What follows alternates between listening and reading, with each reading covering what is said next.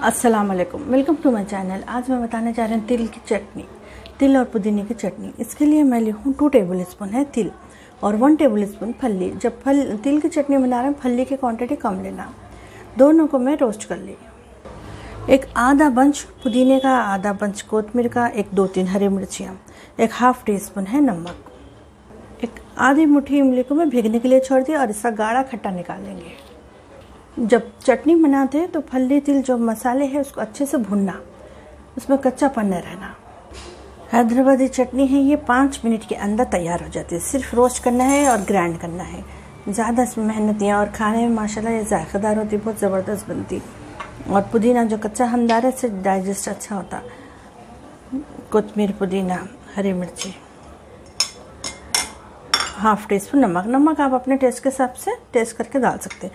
और इसका गाढ़ा खट्टा जो बना दी, इस